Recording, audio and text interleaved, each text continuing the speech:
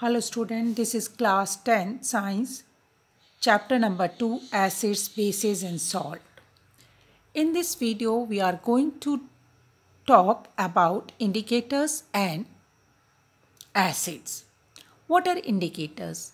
Indicators are the substance which indicate the acidic or basic nature of the solution by the color change. क्या है indicators indicator वो substance हैं जो क्या करते हैं, किसी भी सॉल्यूशन का नेचर बताते हैं, वो एसिडिक है कि बेसिक है, और वो नेचर हमें कैसे पता चलता है? इंडिकेटर्स अपना कलर को चेंज कर लेते हैं, और उससे हमें पता चलता है कि वो सब्सटेंस एसिडिक है या बेसिक है।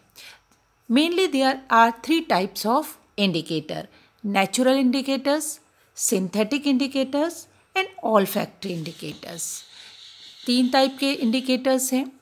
Natural synthetic and olfactory indicators natural indicators अब जैसे कि नाम से ही पता चल रहा है indicators obtain from natural sources are called natural indicators जो हमें नेचुरल सोर्सेज से इंडिकेटर्स मिलते हैं, ठीक है, वो कहलाते हैं natural indicators example litmus turmeric red cabbage China rose etcetera ये are the example of some natural indicators अब अगर हम बात करें नेचुरल इंडिकेटर्स में लिटमस की तो litmus obtain from lichen lichen से हमें मिलता है, आपको पता है लाइकन क्या है? एक प्लांट है, ठीक है ना? आपने पढ़ा ये जब वेरियस टाइप्स ऑफ़ प्लांट पढ़े थे, और इसका जो कलर होता है colour of litmus is purple colour क्या रहता है लिटमस का? पर्पल रहता है। और लिटमस पेपर जो मार्केट में अवेलेबल होते हैं, वो दो कलर में होते हैं। वो होते हैं रेड एंड ब्लू कलर में हमें लिटमस पेपर मार्केट में मिलते हैं।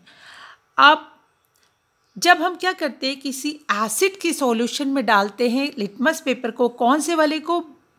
And acid turn blue litmus paper red हम ब्लू लिटमस पेपर को यदि एसिड में डालेंगे तो वो रेड हो जाएगा। और यदि हम रेड लिटमस पेपर को एसिड में डालेंगे तो उसका कोई भी कलर चेंज नहीं होगा। ठीक है? तो आपको याद रखना है कि ब्लू लिटमस पेपर को जब भी हम क्या करते हैं एसिड में डालते हैं, वो किसमें हो जाता है? वो रेड बन जाता है। और वाइस वर्सा बेस में इसका उल्टा होता है। रेड लिटमस पेपर को यदि हम बेस में डालते हैं तो वो ब्लू हो जाता है। तो और यदि हम क्या करेंगे? ब्लू को डालेंगे बेस में तो उसका कलर चेंज नहीं होगा। Next litmus next natural indicator is turmeric turmeric हल्दी को बोलते हैं। टर्मरिक किस कलर की होती है? येलो इन कलर और टर्मरिक सॉल्यूशन जो है, वो क्या करता है? रेडिस ब्राउन हो जाता है। जब हम उसको क्या करते हैं? बेस के साथ वो रेडिस ब्राउन हो जाता है। इसका एक छोटा सा एग्ज़ाम्पल है। अगर कोई हल्दी आपकी शर्ट पे लग गई हो हल्दी आपकी किसी वाइट शर्ट पे या वाइट रुमाल पे लग जाती है और हम उसको क्या करते हैं? उसको साबुन से धोते हैं। साबुन कैसा है? साबुन जो होता है बेसिक इन नेचर होता है, उसको जब हम साबुन से धोएँगे तो वो कैसा हो जाता है? रेडिश ब्राउन हो जाता है। तो उसका कलर चेंज हो गया। जो येलो कलर था वो किस, क्या चेंज हो गया? रेडिश ब्राउन तो हम इसलिए कह सकते हैं कि टर्मिक टर्मरिक जो है, वो रेडिश ब्राउन हो जाता है किसमें? बेस के साथ। और एसिड के साथ कोई भी कलर उसका चेंज नहीं होता है। Next indicator natural indicator is red cabbage अब रेड कैबेज का जब अब हम जो जूस होता है ओरिजिनली रेड कैबेज का जूस वो पर्पल कलर का होता है। और वो क्या करता है? रेड कैबेज का जो जूस है वो टर्न किसमें चेंज हो जाता है? रेडिश हो जाता है एसिड के साथ और रेड कैबिज पर्पल कलर का और एसिड के साथ कैसा हो गया? रेडिश हो गया और जबकि बेस के साथ वो क्या हो जाता है? ग्रेनिश कलर का हो जाता है। याद रखिएगा इसको। Next is China rose China rose जो होता है, वो उसका कलर जो होता है चाइना रोज सॉल्यूशन का, उसका कलर होता है रेडिश कलर का होता है रेड कलर का होता है और वो एसिड के साथ जो है अपना कलर चेंज कर देता है एसिड के साथ वो डार्क पिंक बन जाता है और बेस के साथ उसका कलर ग्रीनिश हो जाता है। Next is synthetic indicator synthetic indicator वो इंडिकेटर है डेटा सिंथेसाइज इन लेबोरेटरी जो लेबोरेटरी में बनाए जाते इंडिकेटर वो कहलाते हैं synthetic indicator example methyl orange phenolphthalein phenolphthalein और मिथाइल इंडिकेटर अब ये जो हैं, अगर हम फिनॉफ फिलिन की बात करें, वो कलरलेस लिक्विड होता है। कैसा है उसका कलर कलरलेस लिक्विड है।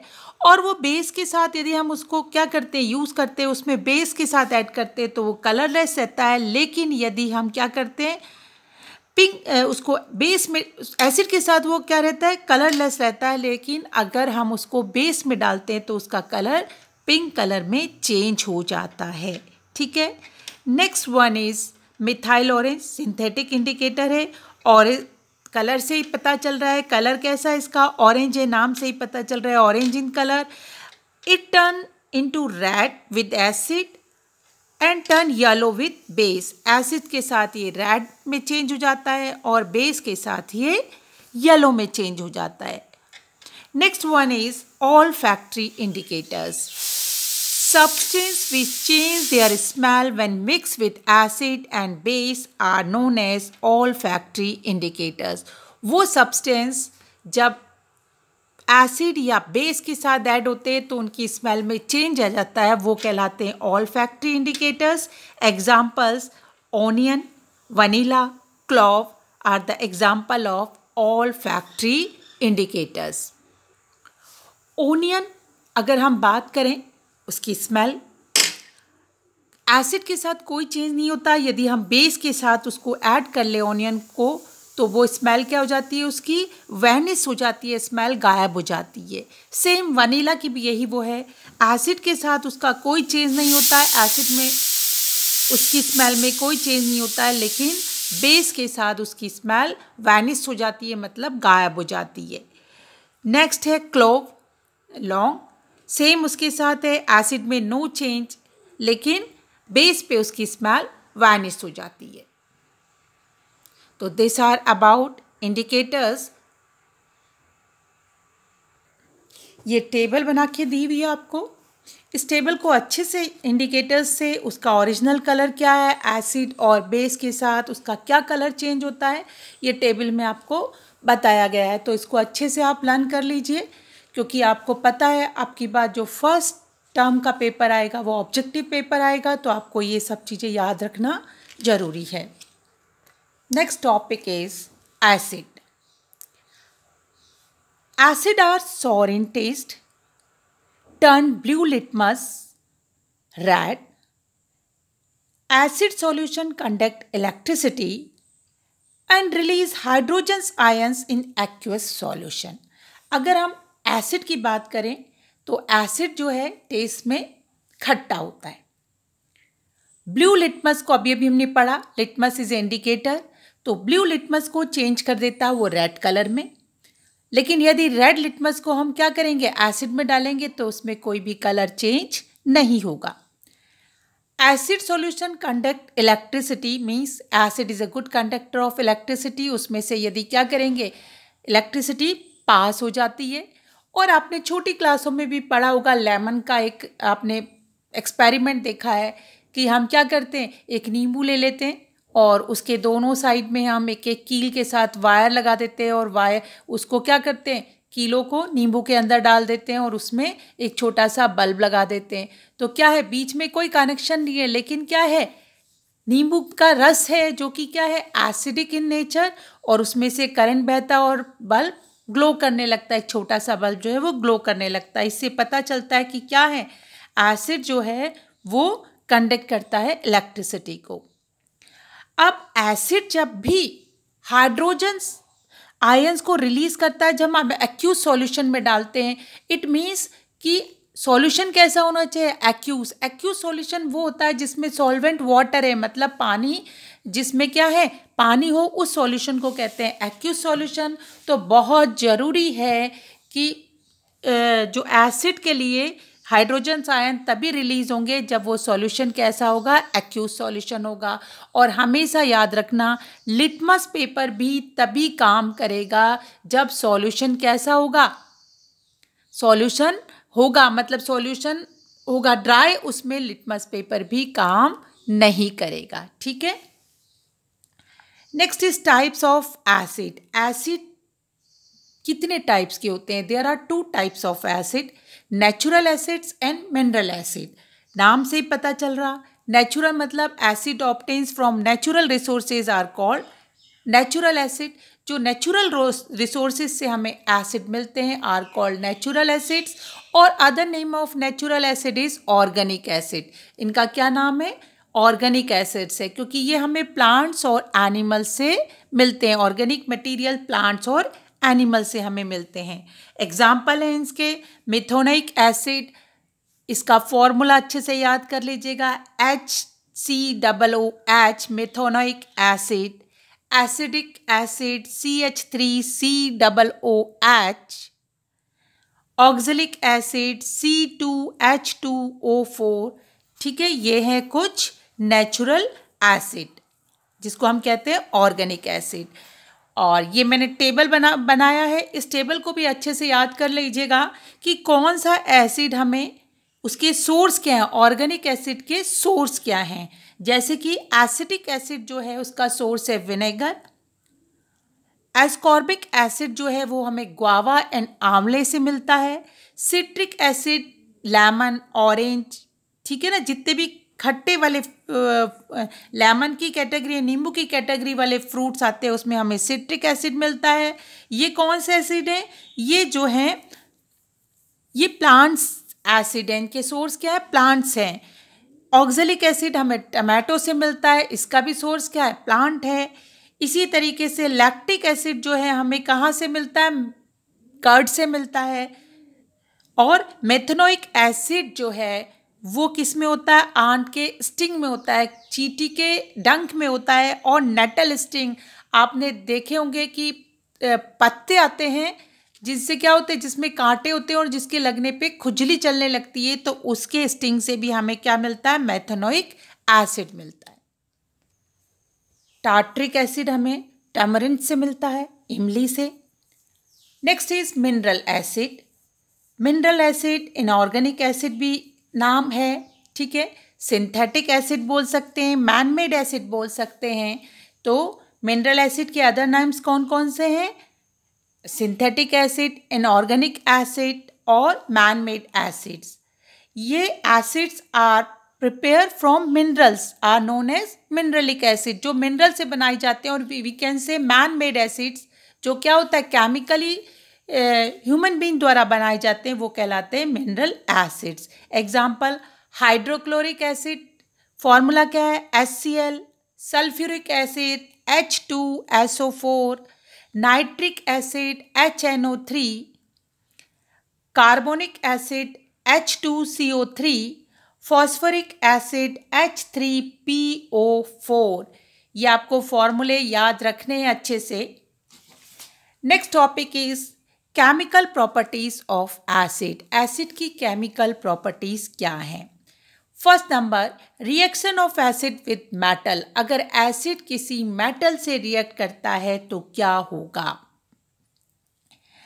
Acid give hydrogen gas along with respective salt when they react with a metal जब भी एसिड किसी मेटल से रिएक्ट करता है तो वो क्या करता है? सॉल्ट देता है और साथ में देता है हाइड्रोजन गैस अब जनरली जो हाई रिएक्टिव मेटल है हाइड्रोजन से ऊपर वाली रिएक्टिविटी सीरीज़ में मेटल है, वो क्या करते हैं? रिएक्ट करेंगे एसिड से और क्या देंगे? हाइड्रोजन गैस देंगे। जैसे कॉपर है सिल्वर है गोल्ड है, ये एसिड से रिएक्ट नहीं करते हैं। अब यहाँ पर ये भी आपको मेटल प्लस एसिड हमें क्या मिल रहा है? सॉल्ट प्लस हाइड्रोजन गैस अब आपकी बुक में एग्ज़ाम्पल है आप कर सकते हैं क्या है? जिंक के कुछ ग्रेनुल्स ले लिए जिंक के कुछ टुकड़े ले लिए और उसको डाल दिया हाइड्रोक्लोरिक एसिड में। तो क्या मिलेगा? Zinc chloride Z N C L two मिलता है और साथ में हाइड्रोजन गैस मिलती है। नेक्स्ट एग्ज़ाम्पल सोडियम ले लिया सोडियम के कुछ पीस ले लिए और उसको सल्फ्यूरिक एसिड में डाला। तो क्या मिला?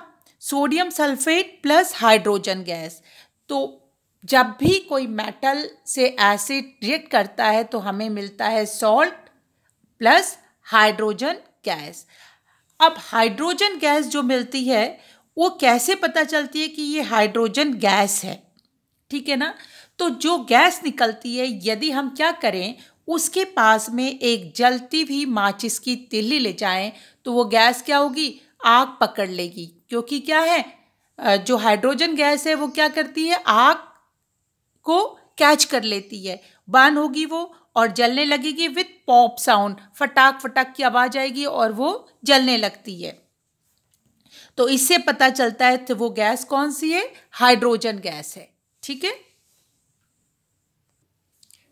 जिंक प्लस एस हमें मिला हाइड्रोजन गैस और साथ साथ मिला। अब क्या रह गया? एच यहाँ से हट गया।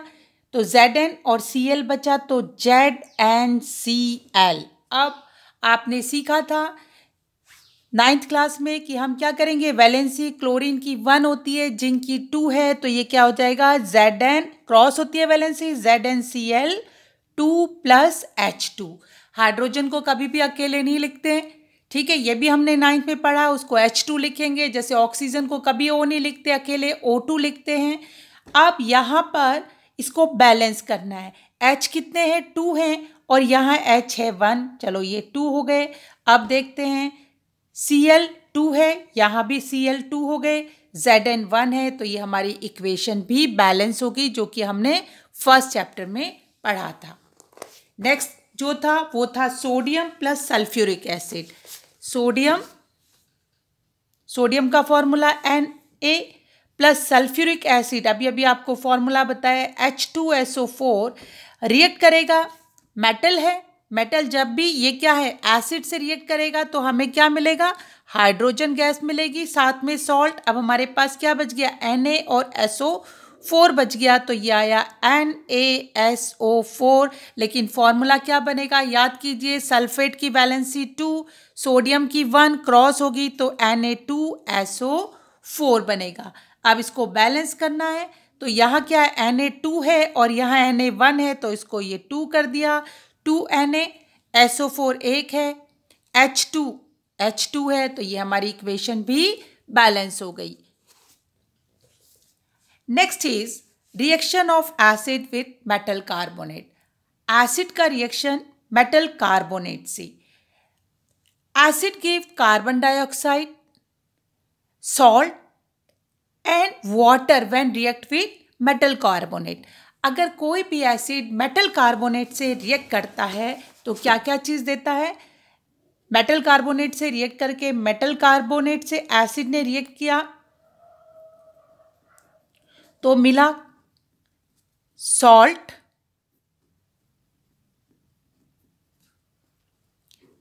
plus carbon dioxide plus water ये तीन चीज़ हमें मिलती है, ठीक है?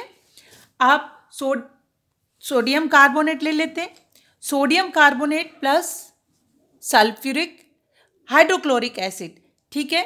हमने क्या किया? सोडियम कार्बोनेट, फॉर्मूला है सोडियम कार्बोनेट का N A two C O three carbonate की वैलेंसी टू, सोडियम की वन तो क्रॉस हो गई sodium carbonate plus hydrochloric acid से रिएक्ट किया और क्या क्या चीज़ दिया?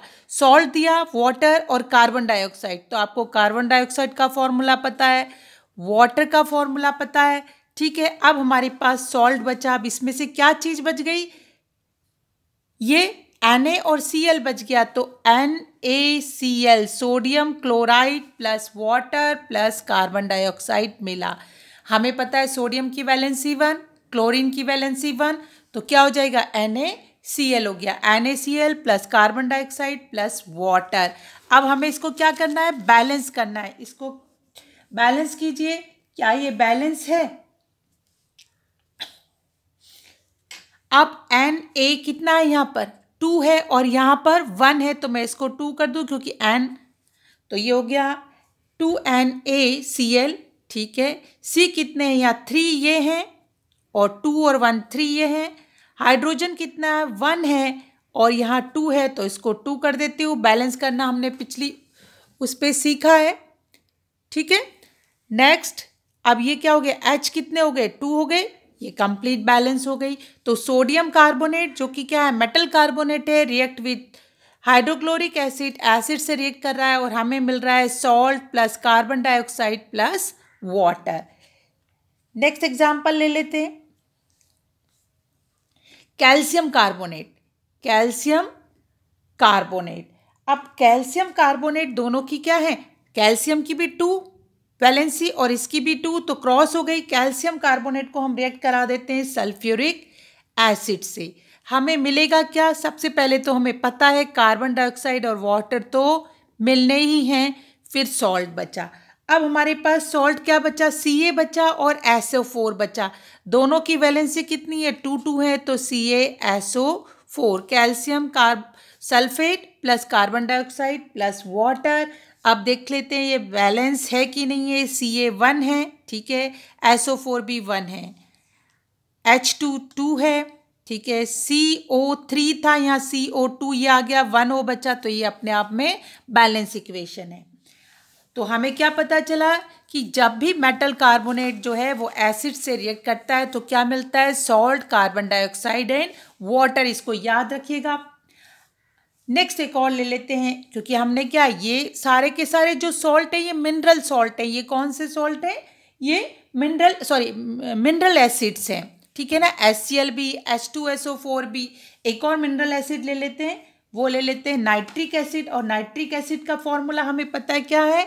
एच एन ओ थ्री और इसको भी हम क्या करते हैं? सोडियम कार्बोनेट से ही रिएक्ट करा देते हैं। सोडियम कार्बोनेट से हमने इसको रिएक्ट कराया। और हमें क्या मिलना है? कार्बन डाइऑक्साइड और वाटर तो मिलना ही है। अब हमें सॉल्ट देखना है कौन सा है। हमारे पास एन ए बचा है और ओ थ्री ये बचा है। ठीक है? तो हमें पता है नाइट्रेट की भी क्या हो जाएगी? वैलेंसी टू है तो ये हो जाएगा N A two, N O three. ठीक है? Plus water, plus hydrogen gas balance कर लेते हैं। एक बार सी ओ एन ओ थ्री अपने आप में पूरा है। वाटर यहाँ पर कितने हैं? टू हैं। एच टू है और यहाँ वन है तो मैं इस एच को टू कर लेती हूँ। तो ये हो गया। और अब हम टू तो ये हो गए N O three N O three भी कितने हो गए? वन ये आ गया एन तो इसको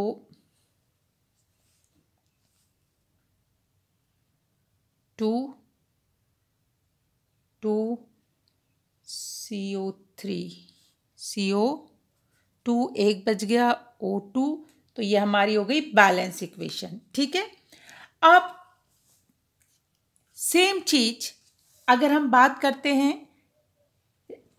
जो है बाइकार्बोनेट से, अगर कोई भी मेटल जो है वो रिएक्ट करता है, किससे? Metal plus bicarbonate. बाइकार्बोनेट को हम क्या बोल सकते हैं? हम बोल सकते हैं hydrogen carbonate bicarbonate is also called hydrogen carbonate ठीक है, जब भी मेटल क्या करता है? बाइकार्बोनेट से रिएक्ट करता है, तब भी हमें क्या देता है? सॉल्ट देता है। प्लस कार्बन डाइऑक्साइड और प्लस वाटर देता है। ठीक है, याद रखिएगा इसको।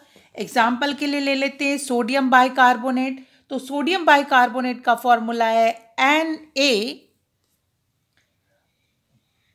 एच देखिए हाइड्रोजन आ गया बीच में, इसको क्या कहते हैं? बाइकार्बोनेट या दूसरा नाम क्या है? हाइड्रोजन कार्बोनेट बाइकार्बोनेट का अदर नेम क्या है? हाइड्रोजन कार्बोनेट तो N A H C O three और जब भी ये रिएक्ट करेगा किससे? एसिड से हमने सल्फ्यूरिक एसिड ले लिया और हमें क्या मिलेगा इस पर रिएक्ट करने पर? हमें कार्बन डाइऑक्साइड और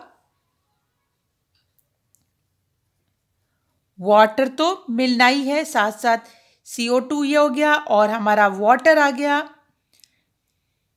अब हमारे पास बच गया क्या? सॉल्ट हमारे पास क्या आया? एन ए बचा और एसओ फोर बचा तो N A two S O four plus carbon dioxide plus water अगर हमें पता हो कार्बन डाइऑक्साइड और वाटर तो निकाल लेना है, उसके बाद जो बचेगा वो सॉल्ट है। अब इसको बैलेंस कर लेते हैं।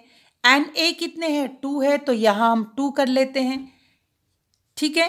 एन ए टू आ गया और एस ओ फोर आ गया। इधर एच टू ओ एक आ गया ये, ठीक है? अब हमारे पास बचा कितना? सी ओ टू अब ये भी टू है और तो यहाँ पर क्या हो जाएगा? ये भी टू हो जाएगा और ये भी टू हो जाएगा और इक्वेशन बैलेंस हो गई। इक्वेशन को बैलेंस करना मैंने सिखाया है, उसको आप खुद करेंगे। अब हमें पता चला जब भी क्या है मेटल जो है बाइकार्बोनेट से एसिड जो है, सॉरी, मेटल बाइकार्बोनेट से एसिड जो है, वो रिएक्ट करता है। मेटल बाइकार्बोनेट से एसिड रिएक्ट करता है तो वो क्या देता है? Salt, carbon dioxide and water देता है। आपको एक रिएक्शन ये बता दी। आप दूसरा एक और ले लेते हैं। एक और रिएक्शन ले लेते आपका हो गया। ठीक है, चलिए। अब हमें पता चला जो कार्बन डाइऑक्साइड आई है, इसका पता कैसे लगाते कि जो गैस निकली है, जब रिएक्शन हुआ है तो जो गैस है वो सी ओ टू है, कार्बन डाइऑक्साइड गैस है। ये पता लगाने के लिए हम क्या करते हैं? Carbon dioxide gas turn lime water milky went pass through it अगर कार्बन डाइऑक्साइड गैस को हम लाइम वाटर में पास करें तो वो क्या हो जाता है? मिल्की हो जाता है। उसका कलर कैसा हो जाता है? दूध के कलर का हो जाता है। और यदि ऐसा हुआ है तो वो गैस कौन सी है? सी ओ टू गैस है मीन्स कार्बन डाइऑक्साइड गैस है। इस तरीके से हम कार्बन डाइऑक्साइड गैस की प्रेजेंस का पता लगाते हैं। Fourth one is metal oxide when react with acid metal oxide जब एसिड के साथ रिएक्ट करते हैं we get salt plus water हमें क्या मिलता है? Salt plus water example copper oxide plus H C L तो क्या मिलेगा? कॉपर क्लोराइड प्लस वाटर तो ये ध्यान रखिएगा। कॉपर क्लोराइड क्या है? सॉल्ट है और हमें वाटर मिलेगा।